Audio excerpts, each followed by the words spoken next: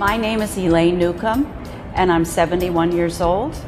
When I was 69, I was diagnosed with stage 4 metastatic colorectal cancer.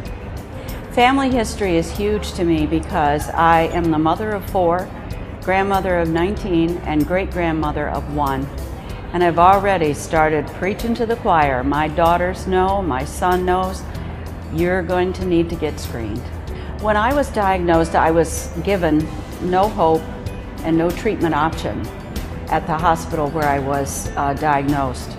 And so I had to go out on my own, become my own advocate, and find my own treatment. Uh, the side effects of the chemotherapy that I had uh, included vomiting, nausea, extreme fatigue. I had to make myself get up and walk each day, and uh, that was that was a prescription from uh, my oncology nurse. I had to get out and walk every day, even if it was only the length of the house. Um, I also had neuropathy, which um, peripheral neuropathy. My hands, I couldn't touch anything that was cold. I wore gloves in the house all the time.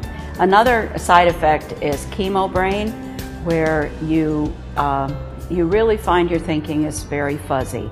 And that was hard for me because I was, I've always been a quick thinker.